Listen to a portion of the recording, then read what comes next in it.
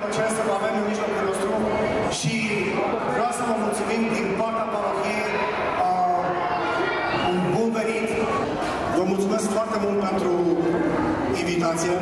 Avem aici uh, formația Student Transilvania care ne va, ne, ne va delecta cu câte cele deosebite.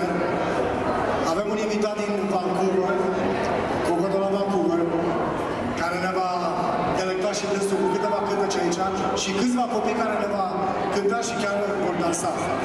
Uh, masa se va lua cât de curând și am să vă rog că fiecare să meargă la, la bufet și să, să fie servit. Um, după ce se va servi masa, um, din partea firmei GF Solution am organizat o, o mică tombolă și am să rog două fete ca să ne ajute cu aceste bilete. Avem câteva premii aici și fetele vor vinde aceste bilete uh, la tombolă. Vom anunța care este pre- premiul, iar premiul cel mare este la mine în mână și este acordat de doamna Nicoleta și împreună cu Adrian. O să o anunțăm la momentul respectiv uh, acest uh, premiu. Până atunci o să dau cuvântul domnului Părinte să ne spună câteva cuvinte și dânsul și uh, să ne bucurăm de această seară minunată. Vă mulțumesc! Bună seara! Acum chiar că trebuie să faceți liniștea.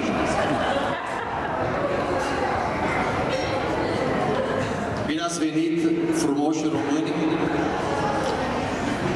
la balul Cântecului și Portului Popular, prima ediție, cu scopul de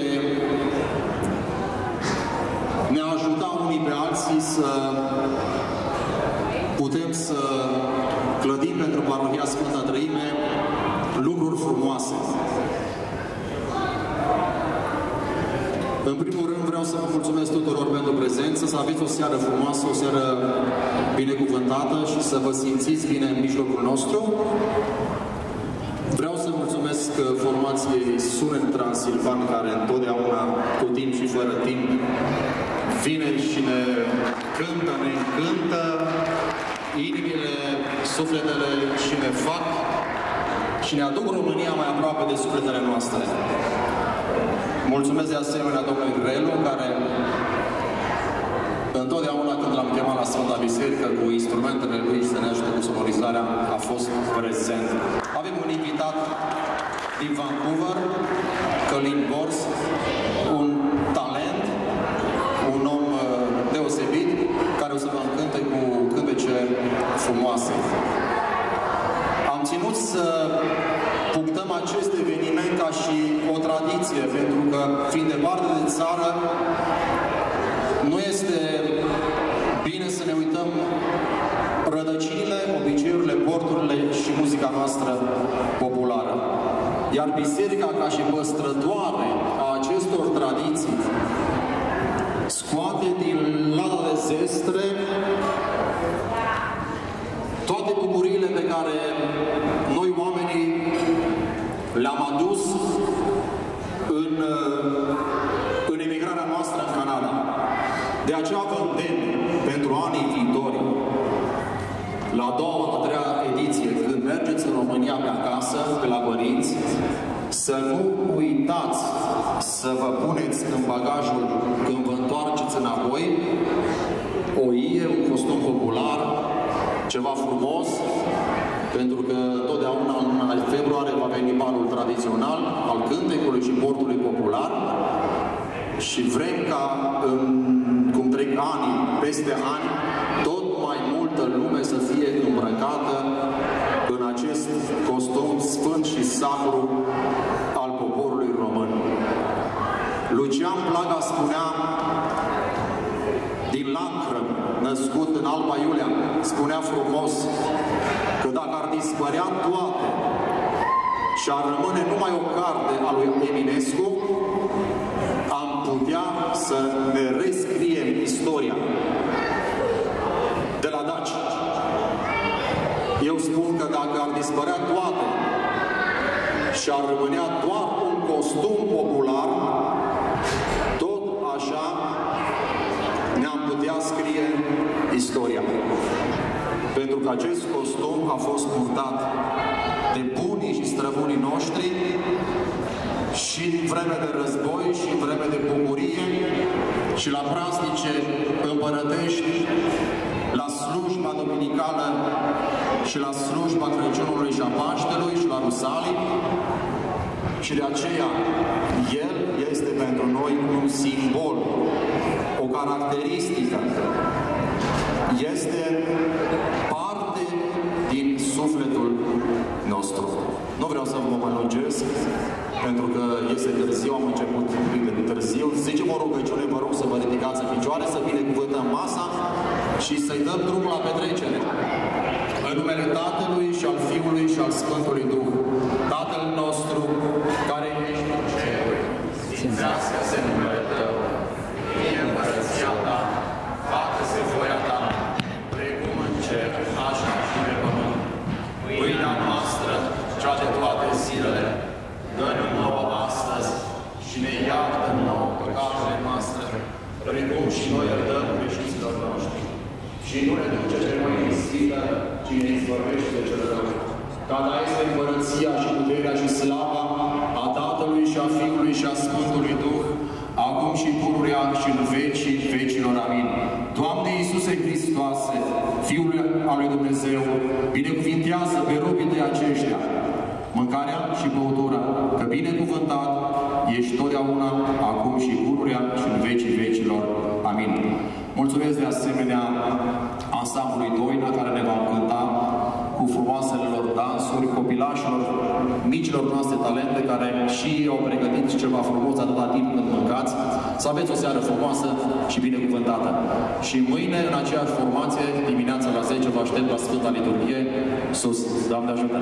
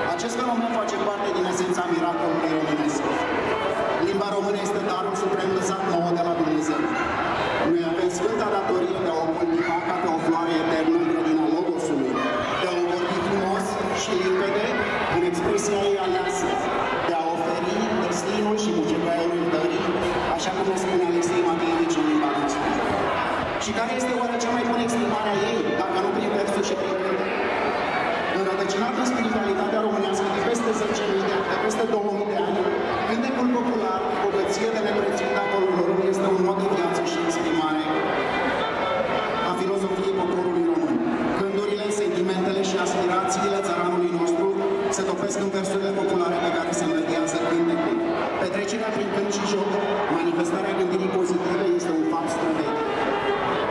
Cântecul și jocul sporesc puterea emoțională, ajutându-ne să ne bucurăm mai mult de viață, să nu cădem pradă gândurilor întunecate. Cântecul face parte din viața omului, din intimitatea lui sufletească. Îl mângâie, îi astâmpără inima, îi purifică sufletul, îl ajută să se detașeze de tot ceea ce